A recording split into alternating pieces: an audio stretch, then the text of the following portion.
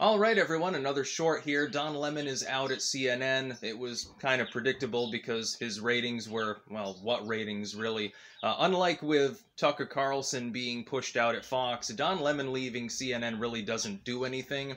He was no longer in a mainline slot or anything like that, and he was facing multiple allegations. So this one's not about Dominion. This one's about CNN deciding, hey, uh, you had an audience uh, five years ago Where'd the audience go, Don? Um, because you became uh, basically a one trick pony, rambling about Donald Trump, Republicans, and things attended to that nature, and really didn't do anything else. I would even call him the Glenn Beck of CNN. Of course, he was forced out of Fox years ago because all he did was ramble about George Soros and scribble on his chalkboard.